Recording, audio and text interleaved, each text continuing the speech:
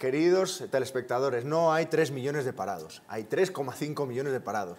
La tasa de paro supera el 15%. Y digo más, durante la pandemia, en 2020, que con los ERTES, acuérdate Daniel, y además tú desafortunadamente lo has sufrido mucho, se, se maquilló el paro de mala manera, la tasa de paro en España superó el 35%.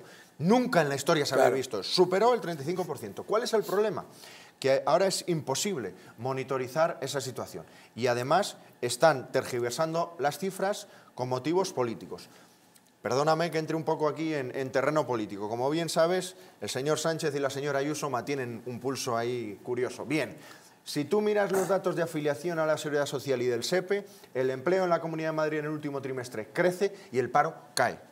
Si tú miras los datos de la EPA, el paro en la Comunidad de Madrid en el último trimestre es donde más sube, de es una de las regiones donde más sube de toda España.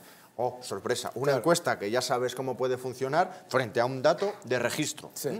Dicho lo cual, no solo está ocurriendo con el empleo, hemos visto esta misma semana también con el IPC cómo están cambiando la cesta eh, de, la compra del IPC para que salga más a su favor. Y hay un componente muy importante. Yo he venido aquí y hemos comentado el efecto eh, escondido del PVPC y del mercado libre. ¿Te acuerdas de cómo ese 20% que sufren eh, los consumidores del mercado libre no se estaba transmitiendo al IPC? Casualidad, hasta ahora que el PVPC empieza a subir como consecuencia de que efectivamente el precio de la electricidad ha estado en mínimos por asuntos meteorológicos, bien, ahora empieza otra vez a subir y ah, ya tenemos en cuenta el mercado libre. Y vamos a cambiar el, peso de los alimentos. ¿Por qué? Porque efectivamente están subiendo un 15% y no nos, no nos interesa mucho. Sí. Tenemos eh, un gobierno, desafortunadamente, que está mucho más preocupado de maquillar las cifras para que salga lo que a ellos les interesa que de solucionar los problemas reales. Y el empleo, como bien decías,